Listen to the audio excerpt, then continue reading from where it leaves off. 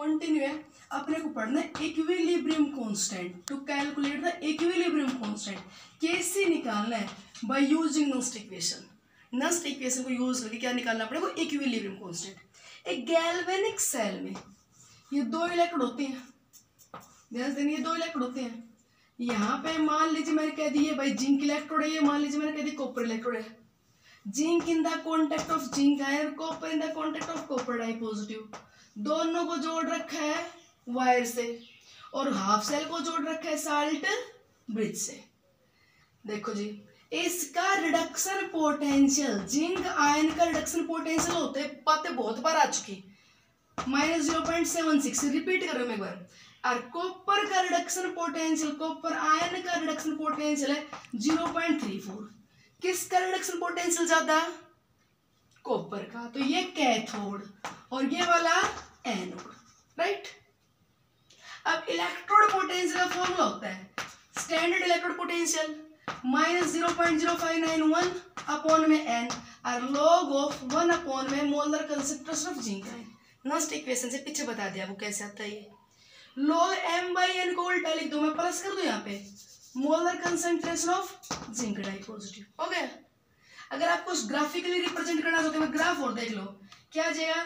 E is equal to क्या आ जाएगा? Zero point zero five nine one upon में N log of the molar concentration of zinc ion और plus में E note ठीक? इसे कब इसको बता रही हूँ एक बार। इलेक्ट्रोड पोटेंशियल को। रिप्रेजेंट करें graphically electrode potential on the Y axis y is equal to M X plus C ये c है और ये स्लोप है और x एक्सिस के अलोंग ले लिया मैंने? Log of the molar concentration of zinc ion ध्यान सुना चाहिए। नस्ट इक्वेशन ये पीछे आप पढ़ चुके हो। ठीक है? यहाँ पे इसको मैंने क्या कर दिया? y is equal to M X plus C से क्या कर दिया? इक्वेशन ऑफ़ लाइन से क्या कर दिया? कंपेयर स्लोप हो गया ये। X एक्सिस के अलोंग क्या है अपने पास? Logarithm of the molar concentration of zinc ion और वाई एक्सिस के अलोंग क्या है? इलेक्ट्रोड पोटेंशियल बताओ ग्राफ कैसे आएगा? लीनियर है स्लोप पॉजिटिव है, ऐसे आ जाएगा. स्लोप क्या है इसका? Zero point zero five nine one upon में सॉरी एन और ये इंटरसेप्ट क्या है? ई नोट मैं एक बात ये बताना चाह रही हूँ कि जितनी आप जिंक आयन की कंसंट्रेशन बढ़ाते जाओगे, उतना रिडक्शन पोटेंशियल बोलो, जो बढ़ता जा रहा है कि नहीं? एक बात कल भी बताई थी मैंने कि जितना ये कंसंट्रेशन बढ़ाते जाओगे उतना क्या रहा है जिंक का रिडक्शन पोटेंशियल अब सुनो बात इधर। इसका रिडक्शन पोटेंशियल था लो। इसलिए होने लगा ऑक्सीडेशन जिंक आयन आती जाएगी? कंसंट्रेशन बढ़ती जा रही है। कंसंट्रेशन बढ़ती जा रही है, बढ़ती जा रही है। तो जिंक का रिडक्शन पोटेंशियल जिसका लो था, उसका क्या होने लगा? इंक्रीज यहाँ पे कॉपर आयन रिड्यूस होती जाएगी। अरे कंसेंट्रेशन कॉपर आयन कम होती जाएगी। रिडक्शन पोटेंशियल होने जाएगा कम। ठीक है? तो एनोड का रिडक्शन पोटेंशियल धीरे धीरे बढ़ने लग जाता है गैलेनिक सेल में, और कैथोड का धीरे धीरे कम होने लग जाता है। और जब दोनों इलेक्ट्रोड से पोटेंशियल बराबर तो बोलते हैं सेल डेड उसे बोलते हैं इक्विलिब्रियम स्टेट पहले बता था स्टार्टिंग में सेल में, कि जब दोनों इलेक्ट्रोड हम यहाँ पे नस्ट इक्वेशन से प्रूव कर दिया कि जितनी आप कंसंट्रेशन मेटल आयन की बढ़ाते जाओगे, उतना ही उस इलेक्ट्रोड का रिडक्शन पोटेंशियल क्या होता चला जाएगा? इंक्रीज तो एनोड का रिडक्शन पोटेंशियल इंक्रीज होता जाएगा कैथोड का डिक्रीज होता जाएगा. तो एक पर्टिकुलर स्टेट पर जहाँ पे दोनों के रिडक्शन पोटेंशियल इक्वल हो जाएँगे, वहाँ पे पोटेंशियल डिफरेंस ज़ीरो और गैल्वेनोमीटर सॉरी वोल्ट मीटर में रीडिंग क्या है कि ज़ीरो वोल्ट मीटर में रीडिंग क्या हो जाएगी? ज़ीरो ठीक है? पोटेंशियल डिफरेंस ज़ीरो तो वोल्ट मीटर रीडिंग क्या होती है? ज़ीरो मतलब current flow stop cell date उस स्टेट को कहेंगे इक्विलिब्रियम स्टेट अप्लाई करें अपना इक्वेशन यही सेल है। सेल में रिएक्शन क्या होती है? Zinc oxidise to zinc ion कोई भी आप कोई भी गैल्वेनिक सेल उठा लेना। प्लस में, क्या था? Copper di positive ion reduce to copper right apply कर दो equation. A cell is equal to A naught cell minus zero point zero five nine one upon में n. N की value यहाँ पे टू है. Log of the Q से Q से is reaction quotient right अब वो कंडीशन ले लो जहाँ पे क्या आ गई? इक्विलिब्रियम स्टेट इक्विलिब्रियम आ गई इक्विलिब्रियम बेटा इक्विलिब्रियम स्टेट आते हैं, दोनों इलेक्ट्रोड्स का पोटेंशियल बराबर. तो पोटेंशियल डिफरेंस ज़ीरो हो गए कि नहीं? At equilibrium state E cell become zero cell potential zero हो जाएगा। ई नोट सेल को ज़ीरो मत कर देना। ई नोट ये तो क्या है? स्टैंडर्ड स्टेट पे। स्टैंडर्ड मतलब समझते हो? ये तो हमने उस टाइम ले लिया जब ये कंसंट्रेशन कितनी है? वन मोलर ये कंसंट्रेशन कितनी है? वन मोलर तो जब ये कंसंट्रेशन फिक्स कर रखी है तो इसका अपना फिक्स रिडक्शन पोटेंशियल है, जैसे ज़ीरो पॉइंट थ्री फोर इसका अपना फिक्स है, जैसे minus zero point seven six तो वन मोलर वन मोलर पे जो रिडक्शन पोटेंशियल आए उनके डिफरेंस है ई नोट तो। तो ई नोट सेल ज़ीरो नहीं होगा भाई। क्या हो जाएगा? सेल पोटेंशियल सेल पोटेंशियल होता है, इनका पोटेंशियल दोनों इलेक्ट्रोड्स की पोटेंशियल डिफरेंस और हम कौन सी स्टेट ले रहे हैं? इक्विलिब्रियम स्टेट और इक्विलिब्रियम स्टेट वो होते हैं गैल्वेनिक सेल के, जहाँ पे दोनों इलेक्ट्रोड्स का पोटेंशियल क्या हो जाता है? इक्वल और वो इक्वल हो गया तो ये चीज़ क्या हो गई? ज़ीरो चलो आगे। तो ज़ीरो इक्विलिब्रियम स्टेट पे, ये ज़ीरो हो जाएगा। ये कभी ज़ीरो मत कर देना इक्विलिब्रियम स्टेट पे।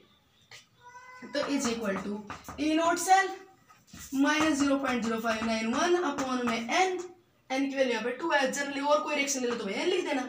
ठीक है? Log of at equilibrium state, ratio of the concentration product upon reactant is concentration term raised to the power stoichiometric तो उस रेशियो क्या बोलते हैं? इक्विलिब्रियम कांस्टेंट राइट बताओ आ गया फॉर्मूला क्या आ गया फॉर्मूला देखो.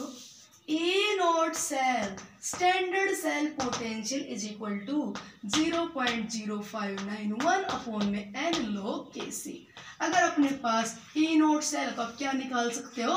इक्विलिब्रियम कांस्टेंट राइट बड़े न्यूमेरिकल बहुत आसान है. जैसे ये कह दिया जाए कि वो जो डेनियल सेल है, उसी का आप क्या निकालो? इक्विलिब्रियम कांस्टेंट तो डेनियल सेल में कॉपर है और जिंक है. कॉपर का ई नोट, कैथोड का।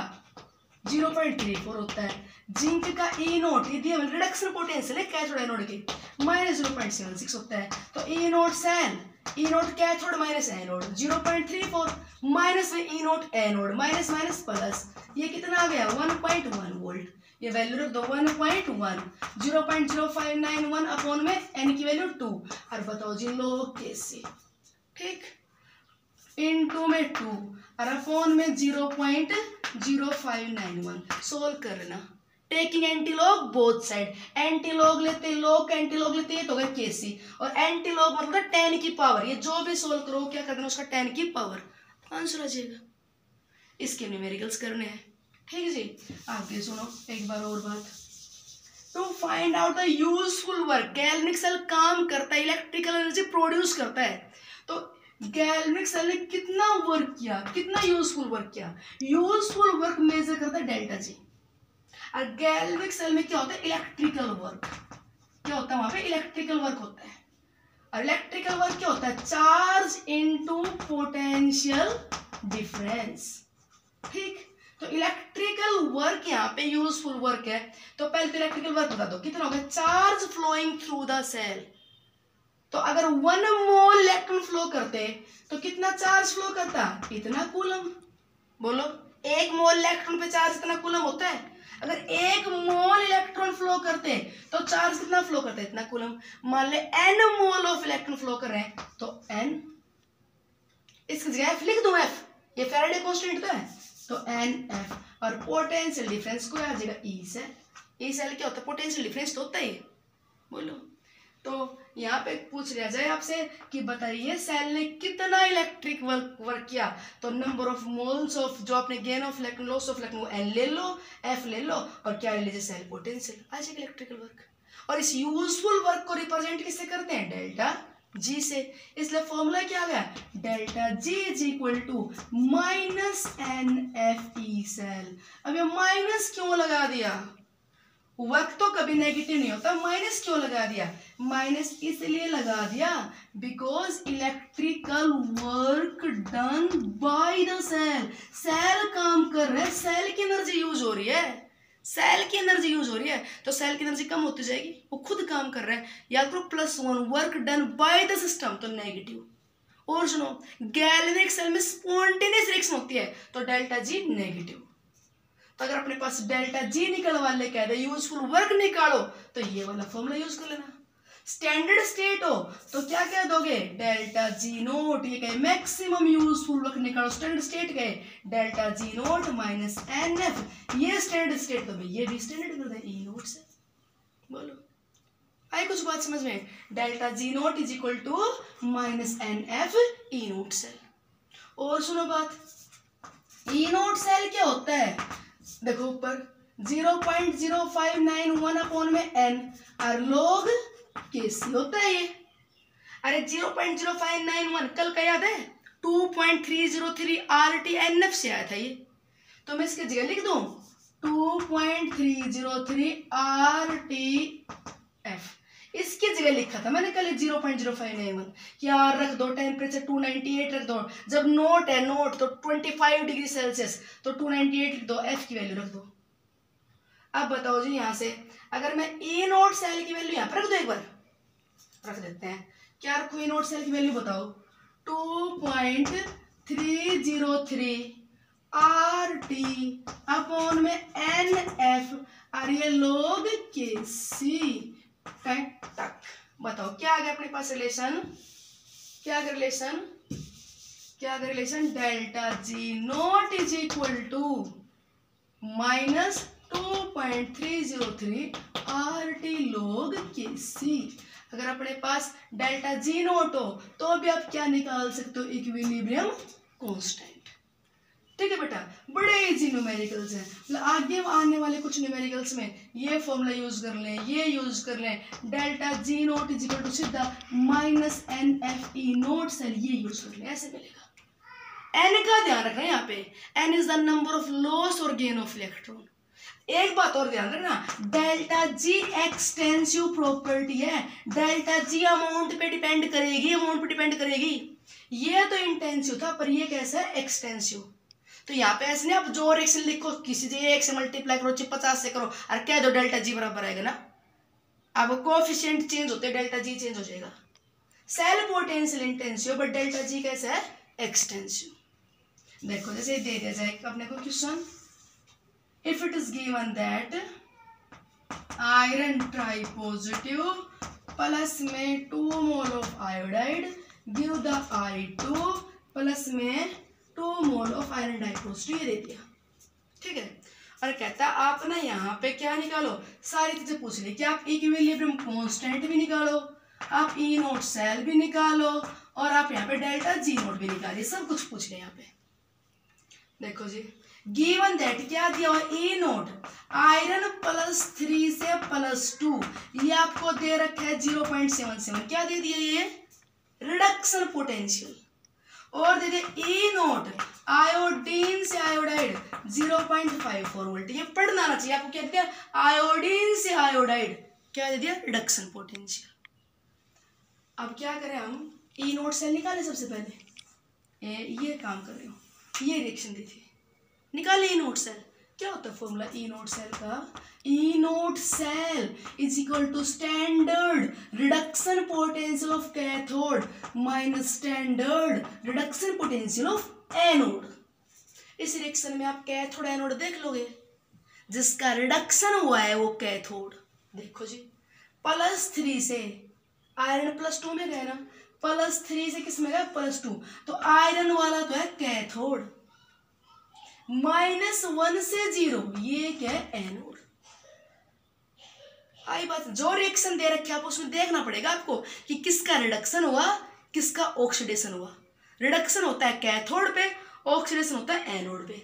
रखो वैल्यू कैथोड का रिडक्शन पोटेंशियल आयरन का, ये दे रखा reduction potential zero point seven seven minus में एनोड का रिडक्शन पोटेंशियल ये दे रखा ज़ीरो पॉइंट फाइव बोलो जी, आ गए नोट सेल ठीक। यूनिट लिख देना। घटा दे दे पॉइंट फाइव फोर कितना गया सात चार तीन। कितना गया? Zero point two three volt ये क्या आ गया? E naught cell E naught cell आ गया। उसने कहा इक्विलिब्रियम कांस्टेंट निकालो। चलो जी, ये रहा इक्विलिब्रियम कांस्टेंट निकाल दोगे? E naught cell zero point two three zero point zero five nine one n की वैल्यू क्या है? जो रिएक्शन दे रखे वहाँ पे देखना आप इस रिएक्शन की बात करो तो एन की वैल्यू क्या है? प्लस थ्री से plus two again of electron one है, वन करोगे? बताओ। बोलो एन की वैल्यू वन करोगे? आपको जो रिएक्शन ये बार बार, ये एन की वैल्यू गलत मत कर देना बेटा। जो आप रिएक्शन लिख के दे रखी है, या आप खुद लिख रहे हो, उसमें देखना टोटल नंबर ऑफ़ लॉस और गेन आप कहीं कर दो प्लस थ्री से plus two gain of electron one हो जाओ राज़ी। टोटल देखना जो आपको रिएक्शन दे रखी है उसमें। तो प्लस थ्री से plus two gain of electron कितने टू तो एन की वैल्यू क्या होगी? टू ठीक है। और क्या आ जाएगा लोग के निकाल दोगे इक्विलियम कांस्टेंट आए कुछ बात समझ में? आप रिएक्शन खुद लिख रहे हो या आपको दे रखी है? आपको ध्यान किस चीज़ का रखना है? जो आपने रिएक्शन लिख दी उसका टोटल नंबर ऑफ़ लॉस और gain of electron E naught cell पे तो कोई फ़र्क नहीं पड़ता, पर डेल्टा जी पे तो फ़र्क पड़ेगा। देखो डेल्टा जी नोट क्या होता है बेटा? Minus n F E naught cell अगर मैं इनकी वैल्यू वन रखूँ, अगर इनकी वैल्यू टू रखूँ तो डेल्टा जी दोनों के बराबर लगा लगाएगा तो उसने कहा में डेल्टा जी, इसका मैक्सिमम यूजफुल निकालो तो इसने देख लिया प्लस थ्री से प्लस टू प्लस थ्री से प्लस टू तो यानी की वैल्यू क्या रखो यहाँ पे? टू ये मत गलती करना। Into nine six five double zero into E naught cell E naught जो दे रखा था zero point two three delta G unit joule लिख देना। क्योंकि ये कूलम और ये वोल्ट, और coulomb volt is joule right no next बेटा, बड़ा इंपॉर्टेंट क्वेश्चन है। इंपॉर्टेंट तो क्या है? तो सिंपल पर देखो इसमें क्या पूछ रखा है। ये कहता है estimate the minimum potential difference estimate the minimum potential difference मतलब पोटेंशियल डिफरेंस वही sir estimate the minimum potential difference which is required for this reduction process. इस रिडक्शन प्रोसेस को करवाने के लिए कितना सेल पोटेंशियल लगाना, कितना पोटेंशियल लगाना पड़ेगा? यहाँ पे इलेक्ट्रिसिटी दी जा रही है। ये ध्यान देखो, रिडक्शन रिएक्शन है, ये एल्यूमिनियम मोल्टन है, A, L, two, O, three. तो इसमें एल्यूमिनियम कटायन है, और कटायन कैथोड से इलेक्ट्रॉन लेके रिड्यूस हो रही है, तब एल्यूमिनियम मेटल बन रहा है। तो यहाँ पे इलेक्ट्रिसिटी दी जा रही है electrical work done on the system और कह रहा है, इस काम को करवाने के लिए कितना पोटेंशियल रिक्वायर्ड होगा? पोटेंशियल निकालो। पोटेंशियल पूछ लिया। डेल्टा जी दे रखा है 960 किलो जूल ये डेल्टा जी दिया 960 किलो जूल तो delta G is equal to क्या होता है? एन एफ़ ई से एक यहाँ पे ध्यान देखो। ये माइनस लगाओगे। यहाँ पे तो माइनस नहीं लगाएँगे। लैंग्वेज देखो how much potential is required यहाँ पे इलेक्ट्रिसिटी दी जा रही है। Work done on the system कई जगह कई बुक्स में गलत लिख देते हैं माइनस लिख देते हैं यहाँ पे। माइनस जब ही लिखा जाता है, जब इलेक्ट्रिसिटी क्या हो? प्रोड्यूस इलेक्ट्रिसिटी क्या हो? प्रोड्यूस गैल्वेनिक सेल हो ना, वहाँ पे होता है माइनस यहाँ पे क्या how much electricity is required तो रिक्वायर्ड तो क्या है? प्लस एक तो इस बात का ध्यान रखो। सेल पोटेंशियल निकालना है डेल्टा जी रख दें। अब एक और देखो 960 किलो जूल किलो जूल में रख दो क्या मैं इसे? देख, ये कूलम और ये आएगा वोल्ट। में कूलम वोल्ट जूल होता है। तो इसलिए नाइन सिक्सटी इंटू टेन की पावर थ्री ठीक? इंटू एन एफ़ लिख दिया nine six five double zero और ये सेल पोटेंशियल अपने को निकालना है। रह गई बात एन एन सिखाना था। एन क्या होता है? नंबर ऑफ़ लॉस या number of gain of electrons in the given reaction अपने को ये रिएक्शन दे रखी है मैं लिख देती हूँ। Four by three mole of alumina से। क्या बन रहा है? Two by three sorry two by three mole alumina से क्या बन रहा है? Four by three mole aluminium plus इस रिएक्शन देखो नंबर ऑफ़ लॉस और गेन देखो एल्यूमिनियम की ऑक्सीडेशन स्टेट क्या है यहाँ पे? Oxygen minus two minus two minus two तो एल्यूमिनियम की निकालोगे ऊपर चार्ज क्या आएगा प्लस थ्री और यहाँ पे क्या है? ज़ीरो तो एल्यूमिनियम प्लस थ्री से ज़ीरो में जाएगा, कितने इलेक्ट्रॉन लेके? बोलो। एक एल्यूमिनियम आयन को कितने इलेक्ट्रॉन लेने पड़ेंगे? तीन। तीन लेके तो एक एल्यूमिनियम बढ़ेगा अब एक मोल एल्यूमिनियम में एक मोल एल्यूमिना तो एक मोल एल्यूमिना में प्लस थ्री से ज़ीरो और प्लस थ्री से ज़ीरो टोटल बताओ, दो मोल एल्यूमिनियम है। एक मोल एल टू थ्री में। एल्यूमिनियम कितने? दो मोल। तो इलेक्ट्रॉन बोलो छह का गेन होगा कि नहीं? यही बात समझ में एल्यूमिनियम प्लस थ्री से ज़ीरो तीन इलेक्ट्रॉन लिए। एक मोल एल्यूमिनियम एल्यूमिनियम ध्यान से देखो, दो मोल है, दो। एल टू तो प्लस थ्री से ज़ीरो और प्लस थ्री से ज़ीरो एक मोल एल्यूमिनियम की ये दो मोल है, छह इलेक्ट्रॉन लेंगी। अपने पास ये एक मोल नहीं है, दो बटे तीन मोल है। तो एक मोल अगर छह इलेक्ट्रॉन ले तो दो बटे तीन मोल कितना लेगा? चार। की वैल्यू चार है। इधर से देख लो। माइनस टू से ज़ीरो ऑक्सीजन ने कितने इलेक्ट्रॉन रिलीज़ किए दो। एक ऑक्सीजन ऑक्सीडेशन स्टेट होता है चार्ज ऑन वन एटम तो एक ने दो इलेक्ट्रॉन दिए। तीन ने कितने दिए? दो और दो और दो। कितने? छह दिए। तो एक मोल में तीन ऑक्सीजन है, तीन मोल। दो बटे तीन में कितने होंगे? छह गुना दो बटे तीन। तो इसलिए यहाँ पे लॉस और गेन ऑफ़ इलेक्ट्रॉन कितना बेटा? चार। तो एन की वैल्यू क्या होगी? फोर हो जाएगा आपका। क्या क्या ध्यान देना था?